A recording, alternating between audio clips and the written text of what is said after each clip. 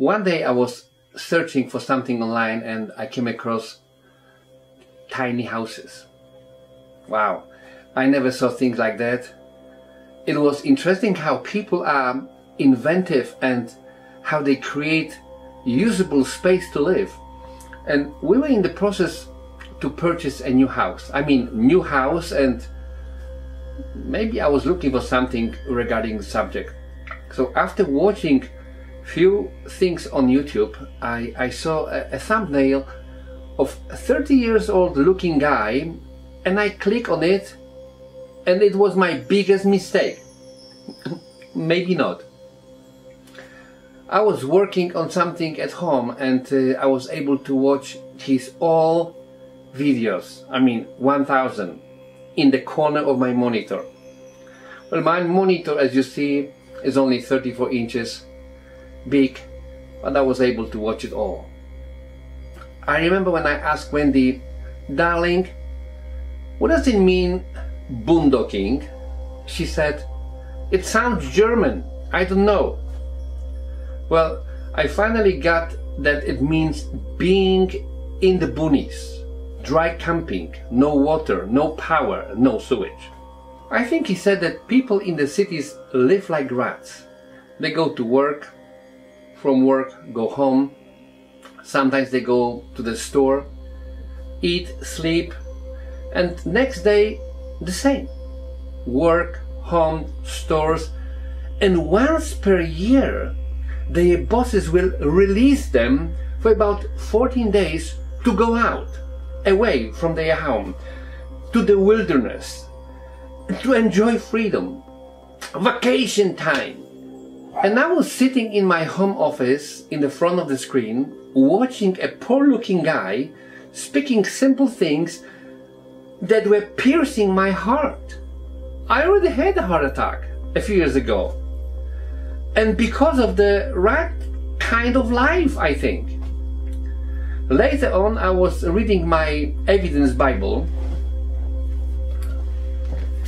and I came across some additional material in it that human beings on average live about 70 years. And here I am, 58 years old when I was reading it. Now it's almost two years later. I see how week after week go faster and faster. I know you can say that this is a nonsense, and I'm with you. Time doesn't change. 24 hours is still one day, and, and one hour still has 60 minutes in it.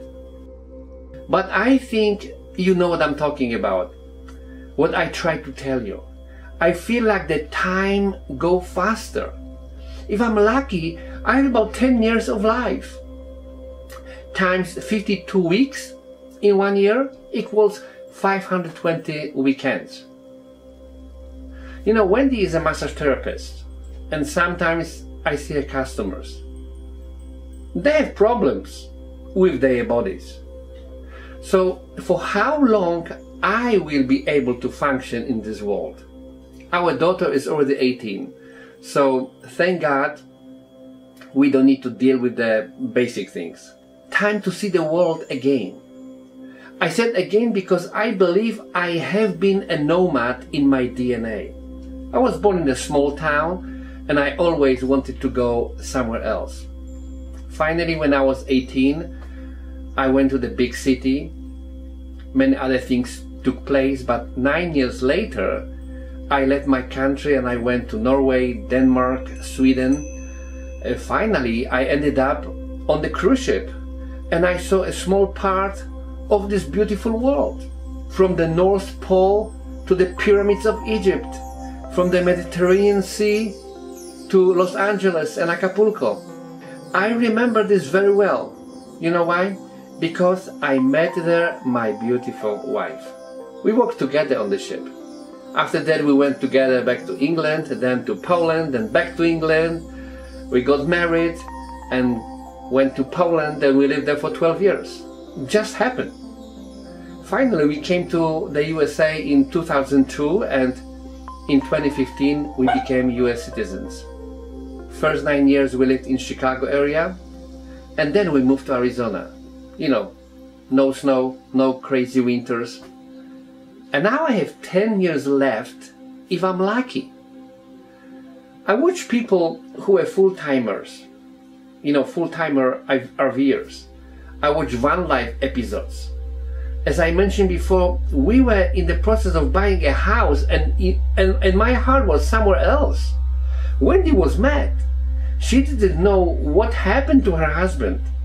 One day I took her by hand and I said, could you watch with me a video? It was a, freshly released RV Nomads movie Inside, I was crying for freedom. I felt like I'm in prison that I created by myself. I wanted freedom. I wanted to go to places I have not been before. You know, I found my wife in Dominican Republic. We were together on the ship. We experienced beautiful evenings on the deck at sea, drinking wine and eating French baguettes and cheese and drinking coffee in the morning with Danish pastry what has happened to us? We became slaves to the banks, slaves to the credit card companies, having two cars, two children, two pets, too much debt, not being able to afford to travel and be free again. I said, I wanted my freedom back.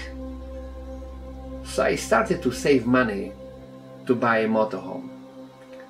Wendy said, Yes, darling. One day. But I was persistent. I knew that I have only 520 weekends left and then I'm gone or I'm so old that I cannot travel any longer.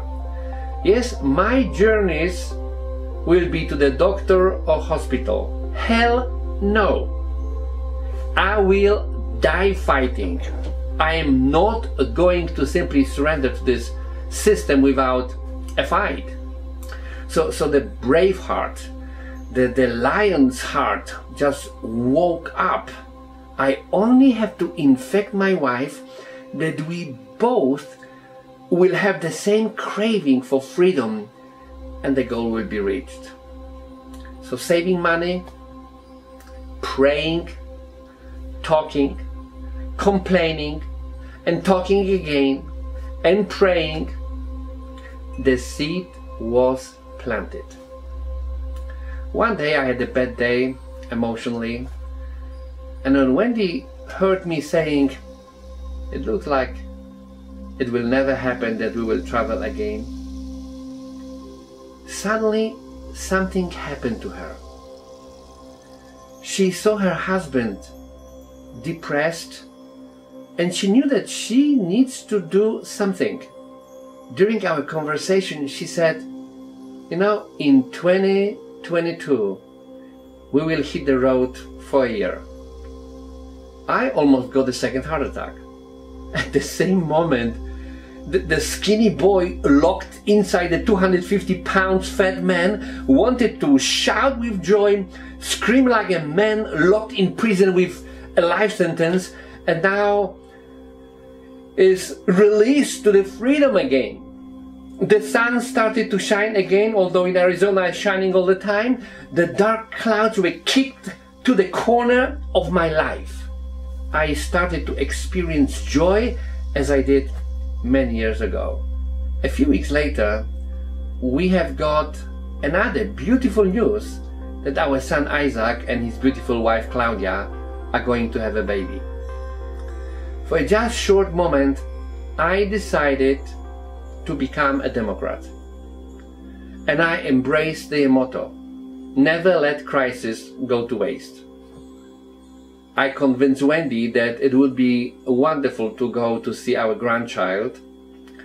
And instead of being a pain in the neck to our son, we could stay in our motorhome when we visit them.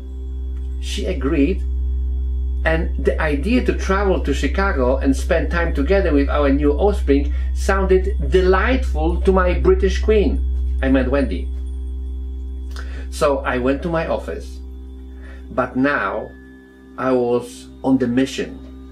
My mission was to find the best suited RV for our travels.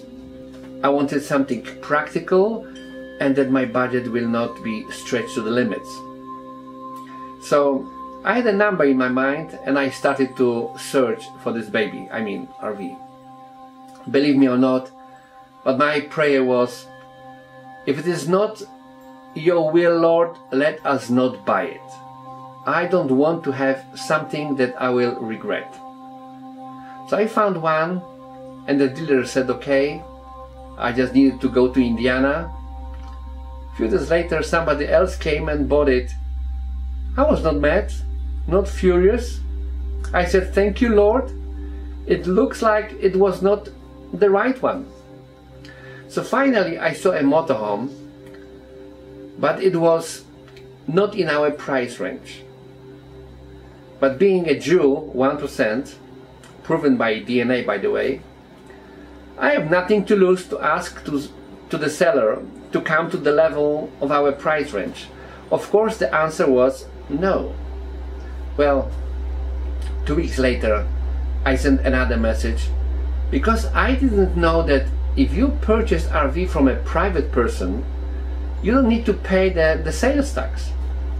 So this amount of money I could invest in the value of our new RV. I prayed and I said to Wendy that if he agrees on this amount, I believe this is it. She agreed with me and we got a positive answer. Well, now we are in trouble. We needed to find a bank to give us the loan. yeah, this was not easy. I'm not going to spend time explaining this dilemma, but finally, I found a great company online and they gave us a very good deal. Wendy decided to go with me. Where? Florida.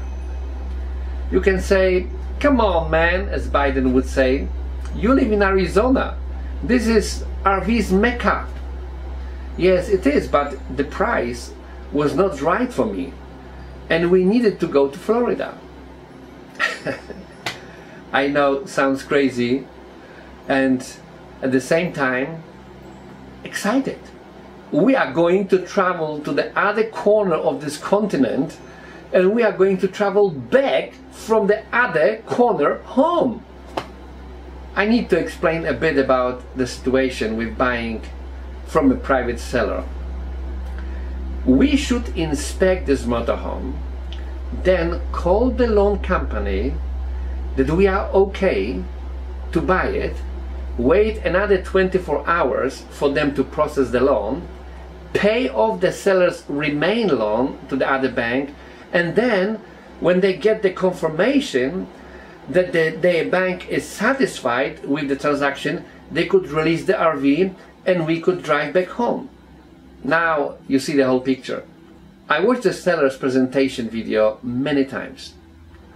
I was in contact with the seller, with the loan company. Then the loan company sent the inspector to make sure that they will provide us with money for a motorhome that has value of the loan. Of course, we paid for the inspection report, but we didn't see it in person. You know, Wendy named this new addition to our life based on the whole situation, faith. So the name of the RV is Faith. We've got two cheap tickets to fly to Florida, rent a car or take a bus or, or train or Uber. Well, the price was similar, so we rented the car and we ended up in Stuart, Florida. We started to travel at midnight and by noon we were in Stuart. We met the owners of the RV. We spent more than an hour with them. We learned a bit about the, the new family member and we didn't even start the engine. You can call us crazy or mighty people of faith. Well, we don't recommend this kind of behavior unless you are crazy like us. Well, I prayed a lot for this to happen, for God's protection from any lemon purchase. I knew after watching more than 1000 videos of Nomadic Fanatic that A motorhome is a house that goes through an earthquake every time on the road. So I knew that things will pop up and had to be replaced and corrected. I was ready, I mean, mentally, only mentally, because I didn't have with me any tools to deal with any surprises. After we said goodbye to them, we started to drive back west. And here we have few videos showing our trip back home. I'm not going to ask you for forgiveness that we that the sound is bad or, or the video is shaken or whatever else. For about 15 months we didn't do anything with the material we recorded. We knew that it's going to be a lot of work. By the way, if you want to complain about the quality of our high quality production, first produce your own video and then we can talk. Yes, I have high regard for everybody who is making videos and posting them on the internet. It is a lot of work. In the beginning, when I heard that one minute equals one hour of editing, I thought that they were exaggerating. Now I can say, yes, it is true. It is getting easier day after day, but in the beginning, it is a, a lot of work. Well, coming back to the story, our grandson Milan is going to be one year old in June 2021. And we decided that we are going to see him in person and we will drive our motorhome to Chicago. So the first plan was that I'm going to drive by myself and Wendy is going to fly from Phoenix to Chicago, spend time together. Later on, I should travel north and aim for the Yellowstone Park, pick up Wendy from Nears Airport, and spend our 30th anniversary over there in Yellowstone. Then travel to Salt Lake City. Wendy will fly back to Arizona, and I will drive slowly through Utah back home. Of course, I would like to have Wendy with me all the time, but you know, running a business, it looks like she could not have too many days off. You know, she's the owner, she's the boss, but you need to take care of everything. So the plan was almost written in stone. Few days later, my stones with my plan were crushed. An experience similar to Moses with the Ten Commandments. Wendy decided that she is going to travel with me. Well, I started to have a panic attack. This woman is sitting on a branch with a saw in her hand and cutting off the flow of our finances. but hello, the name of this motorhome is called Faith. So we gave a name to our escapade. Faith is on the move. Why do not have faith enough to spend three months on the road and see how we can manage financially? This is my last 520 weekends, remember? I would love my grandchildren to learn a bit about the pioneers who came from Europe to America in 2002 and influenced their destiny. I personally, I, I, would love to know more about my roots, but I don't have any materials. Maybe one day I will talk more about it. But you know, I started to look for a domain, and we got it. www faithisonthemove.com. You can follow us via internet and see our journey. Subscribe to our channels and of course purchase from our Amazon store. You will become part of our excitement, of our history, of our journey. I hope that this will awake many people family, friends, and whoever is watching these videos, wherever you are. And maybe we will see you on the road one day. You never know.